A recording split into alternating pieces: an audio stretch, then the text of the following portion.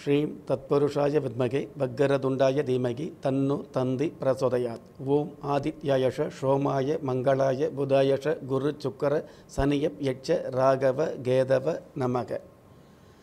உலகெங்கும் வாழும் தமிழ் உள்ளங்களுக்கு ராஜயோக அன்பு வணக்கம். பதிமூன்று ஏழு இரண்டாயிரத்தி பதினெட்டு விளம்பி வருடம் ஆணி மாதம் இருபத்தி ஒன்பதாம் தேதி வெள்ளிக்கிழமையாகிய இன்றைய திதி அமாவாசை. காலை ஒன்பது மணி பதினேழு நிமிடங்களுக்கு பின்பு பிரதமை. நட்சத்திரம் புனர்பூசம். இரவு ஒன்பது மணி இரண்டு நிமிடங்களுக்கு பின்பு பூசம். நல்ல நேரம் மதியம் பனிரெண்டு மணி பதினைந்து நிமிடத்தில் இருந்து ஒரு மணி பதினைந்து நிமிடம் வரை.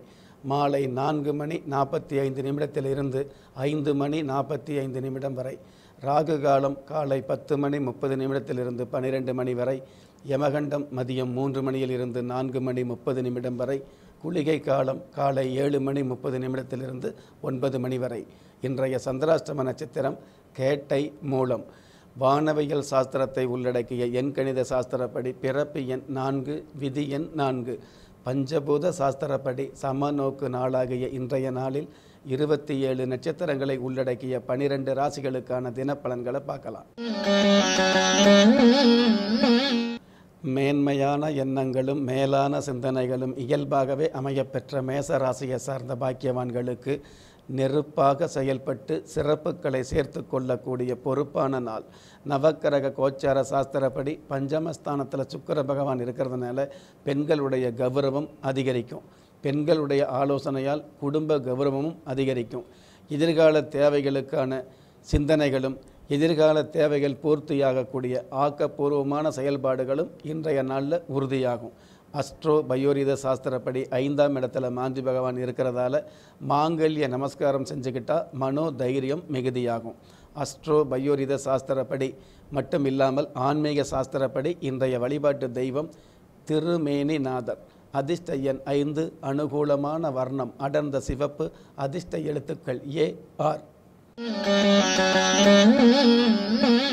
கலையான தோற்றமும் கனிவான பேச்சும் நிலையாக அமையப்பெற்ற ரிஷபராசியை சார்ந்த பாக்கியவான்களுக்கு பிரிந்த குடும்பம் ஒன்று சேரக்கூடிய அற்புதமான நாள்.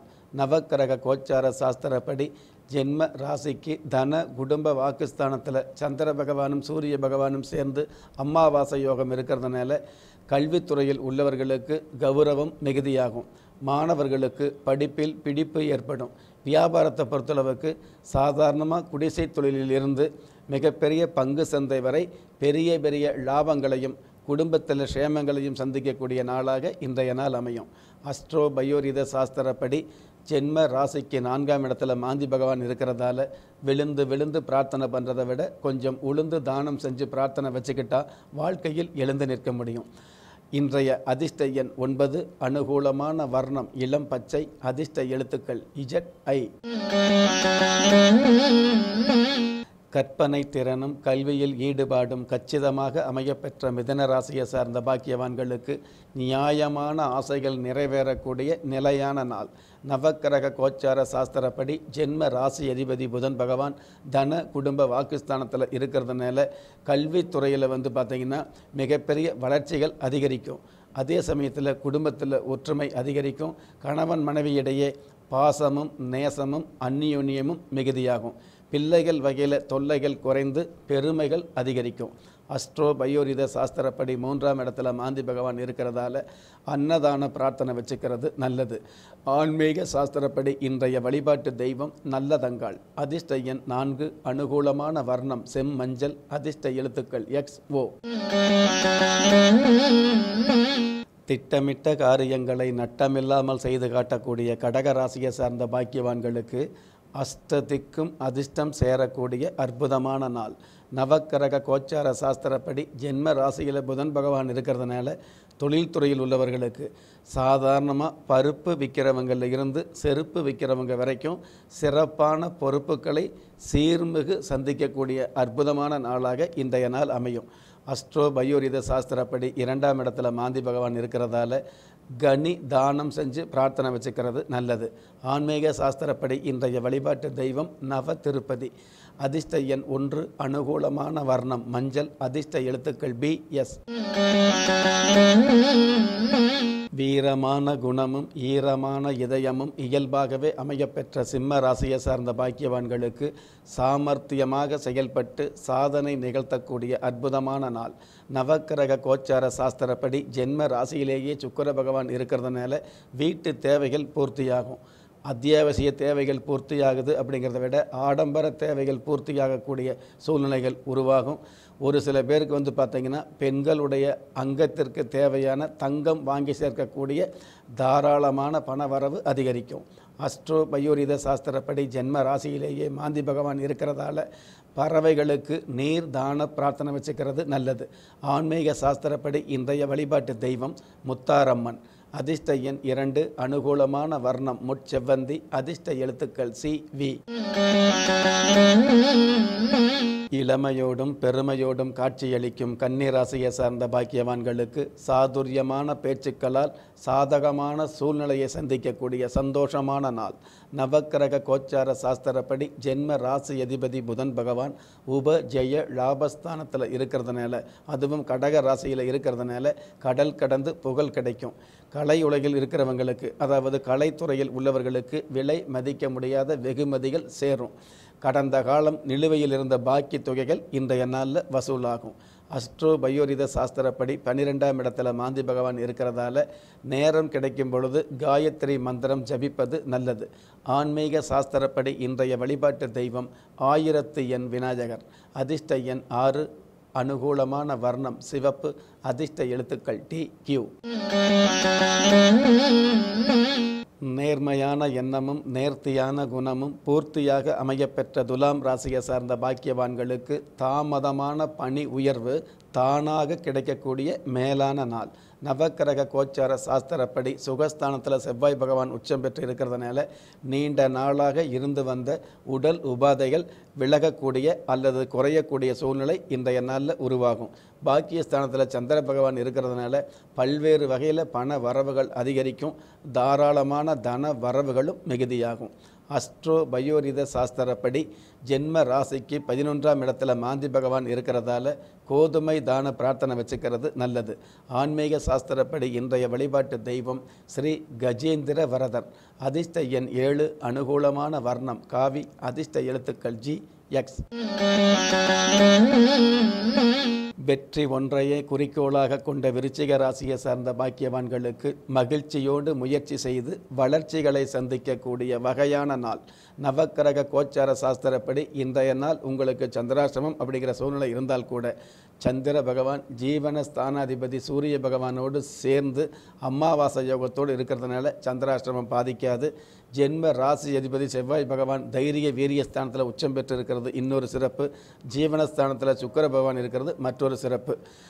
ஆன்மீக சாஸ்திரப்படி மட்டும் இல்லாமல் அடிப்படையாகவே அதாவது அஸ்ட்ரோ பயோரித சாஸ்திரப்படி பத்தாம் இடத்துல மாந்தி பகவான் இருக்கிறதுனால சொர்ணதான பிரார்த்தனை வச்சுக்கிறது நல்லது. ஆன்மீக சாஸ்திரப்படி இன்றைய வழிபாட்டு தெய்வம் குற்றால் ஈஸ்வரர். அதிர்ஷ்ட எண் மூன்று அனுகூலமான வர்ணம் கருப்பு அதிர்ஷ்ட எழுத்துக்கள் பி டபிள்யூ தன்மானமும் தயாள குணமும் தர்ம சிந்தனையும் தகுதியோடு அமையப்பெற்ற தனுசு ராசியை சார்ந்த பாக்கியவான்களுக்கு ஆபரண சேர்க்கையும் ஆசைப்பட்ட வாழ்க்கையும் அமையக்கூடிய அற்புதமான நாள். நவக்கிரக கோச்சார சாஸ்திரப்படி ஜென்ம ராசிக்கு சப்தமஸ்தானத்தில் சந்திர பகவான் இருந்து அதே சந்திர பகவான் சரி சப்தம பார்வையாக ஜென்ம ராசியை பார்க்கறதுனால திருமண வயதில் உள்ளவர்களுக்கு மறுமணமில்லாத திருமண வாய்ப்பு உருவாகும். ஏற்கனவே திருமணமான தம்பதியர்களுக்கு ஒற்றுமை அதிகரிக்கும். ஒரு சில குடும்பங்களில் வந்து பார்த்தீங்கன்னா அழகான ஆயுள் தீர்க்கமான புத்திர பேருக்கு உண்டான வழி வகைகள் உதயமாகும். அஸ்ட்ரோ பயோரித சாஸ்திரப்படி ஒன்பதாம் இடத்துல மாந்தி பகவான் இருக்கிறதால பேராசையை தவிர்ப்பது நல்லது. ஆன்மீக சாஸ்திரப்படி இன்றைய வழிபாட்டு தெய்வம் பாபநாத பாபநாசநாதர். அதிர்ஷ்ட எண் ஏழு அனுகூலமான வர்ணம் ஊதா அதிர்ஷ்ட எழுத்துக்கள் ஏ வி. மரியாதையான குணமும் அதிகாரமான திறனும் அற்புதமாக அமையப்பெற்ற மகர ராசியை சார்ந்த பாக்கியவான்களுக்கு வாகன யோகமும் வகையான செல்வமும் சேரக்கூடிய மிகையான நாள். நவக்கிரக கோச்சார சாஸ்திரப்படி ஜென்ம ராசிக்கு அஷ்டமஸ்தானத்தில் சுக்கர பகவான் இருக்கிறதுனால கஷ்ட காலங்கள் விலகி அதிர்ஷ்ட வாய்ப்புகள் அலைமோதும். விவசாயத்துறையில் உள்ளவர்களுக்கு அலைச்சலுக்கு மேலே விளைச்சல் அதிகரிக்கும். வெளிநாடு போகிறவங்களுக்கு வெகுமதி அதிகரிக்கும். அஸ்ட்ரோ பயோரித சாஸ்திரப்படி அஷ்டமஸ்தானத்தில் மாந்தி பகவான் இருக்கிறதால தியானம் செய்கிறது நல்லது. ஆன்மீக சாஸ்திரப்படி இன்றைய வழிபாட்டு தெய்வம் சங்கர நாராயணார் அதிர்ஷ்ட எண் எட்டு அனுகூலமான வர்ணம் யானை நிறம் அதிர்ஷ்ட எழுத்துக்கள் டி கியூ. கனவுகளும் ஆசைகளும் நிறைந்த கலியுகத்தில் கௌரவமாக வாழ விரும்பும் கும்பராசியை சார்ந்த பாக்கியவான்களுக்கு தொலைநோக்கு சிந்தனையால் பெருமளவு நன்மை கிடைக்கக்கூடிய நல்ல நாள். நவக்கிரக கோச்சார சாஸ்திரப்படி சப்தமஸ்தானத்தில் சுக்கர பகவான் இருக்கிறதுனால குடும்ப ஒற்றுமை அதிகரிக்கும். மாணவர்களுக்கு படிப்பில் பிடிப்பு ஏற்படும். யோசித்து யோசித்து படித்த படிப்பை இன்றைய நாளில் நேசித்து படிக்கக்கூடிய ஒரு சூழ்நிலை அதிகமாகும். பெற்றவர்களுடைய ஆசைகளும் கனவுகளும் ஓரளவு நிறைவேறும். அஸ்ட்ரோ பயோரித சாஸ்திரப்படி ஏழாம் இடத்துல மாந்தி பகவான் இருக்கிறதால தேன் தான பிரார்த்தனை வச்சுக்கிறது நல்லது. ஆன்மீக சாஸ்திரப்படி இன்றைய வழிபாட்டு தெய்வம் அதிசய சாஸ்தா. அதிர்ஷ்ட எண் ஒன்று அனுகூலமான வர்ணம் வாடாமல்லி அதிர்ஷ்ட எழுத்துக்கள் கே ஆர். நல்லவராகவும் அதே சமயத்தில் வல்லவராகவும் வாழ விரும்பும் மீனராசியை சார்ந்த பாக்கியவான்களுக்கு துயரங்களை தாண்டி உயரங்களை தொடக்கூடிய உன்னதமான நாள். நவக்கிரக கோச்சார சாஸ்திரப்படி ஜென்ம ராசிக்கு பஞ்சமஸ்தானத்தில் புதன் பகவான் இருக்கிறதுனால அரசாங்க உத்தியோகத்தை எதிர்பார்த்தவர்களுக்கு இன்றைய நாளில் நல்ல செய்தி வரும். ஏற்கனவே அரசாங்க உத்தியோகத்தில் உள்ளவர்களுக்கு இடமாற்றமும் பணி உயர்வும் இன்றைய நாளில் அமையும். அஸ்ட்ரோ பயோரித சாஸ்திரப்படி ஆறாம் இடத்துல மாந்தி பகவான் இருக்கிறதால பெண்மையை உண்மையாக மதிக்கிறது நல்லது. ஆன்மீக சாஸ்திரப்படி இன்றைய வழிபாட்டு தெய்வம் சிவசைலநாதர். அதிர்ஷ்ட எண் ஆறு அனுகூலமான வர்ணம் செந்நிறம் அதிர்ஷ்ட எழுத்துக்கள் யு எஸ்.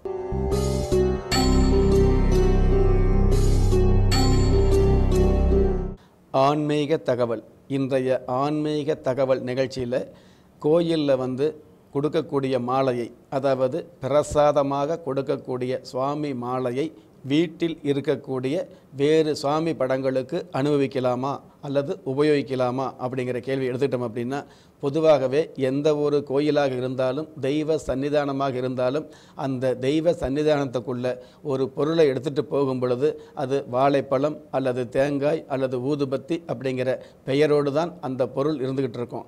அதே அந்த தெய்வ சன்னதியில் வந்து குறிப்பிட்ட மந்திரங்கள் சொல்லி அந்த பூஜை அறையிலிருந்து அதாவது தெய்வ சன்னதியிலிருந்து வெளியில் வரும் பொழுது பொருள் அப்படிங்கிற அந்த விஷயத்தை மாற்றி கடவுளுடைய அருள் நிறைந்த பொருளாக பிரசாதம் அப்படிங்கிற இந்த வாழைப்பழம் தேங்காய் அப்படிங்கிறத விட பிரசாதம் அப்படிங்கிற பெயரோடு தான் வெளியில் வருதுங்க.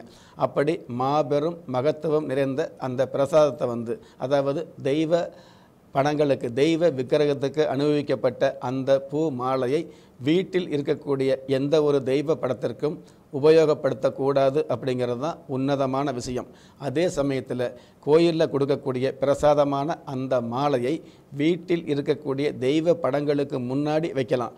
ஆனால் இன்னொரு தெய்வ படத்திற்கு உபயோகப்படுத்தக்கூடாது அப்படிங்கிற விஷயத்தை இன்றைய ஆன்மீக தகவல் பகுதியில் நம்ம தெரிஞ்சுக்கலாம். அடுத்து வரக்கூடிய ஆன்மீக தகவல் பகுதியில் வந்து இன்னும் தெரியாத சிறு சிறு பெரிய அரிய விஷயங்களை தெரிஞ்சுக்க இருந்துகிட்டு இருக்கிறோம் நெஞ்சுக்கிணைய நேயர்களே ஒரு மனிதனை யார் கைவிட்டாலும் ஆன்மீகம் கைவிடாது என்ற அற்புதமான தத்துவத்தை பதிவு செய்து மீண்டும் நாளைய தினப்பல நிகழ்ச்சியில் சந்திக்கும் வரை நன்றியுடனும் வாழ்த்துக்களுடனும் உங்கள் ராஜயோகம் டாக்டர் கே. ராம்.